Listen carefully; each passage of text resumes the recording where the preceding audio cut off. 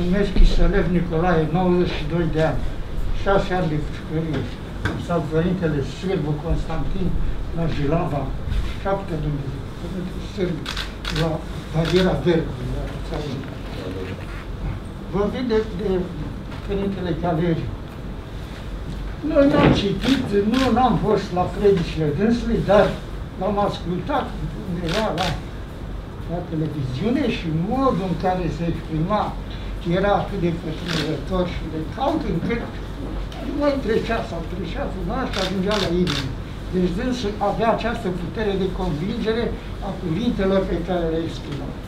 Asta, asta am vrut eu să spun, era unul care trăia în sine această credință, era un om al lui Dumnezeu, cu care noi trebuie să-l cinstim și să ne amintim de, de, de importanța și de, și de puterea lui în ceea ce a făcut atunci când a trecut prin viața aceasta. Mulțumesc.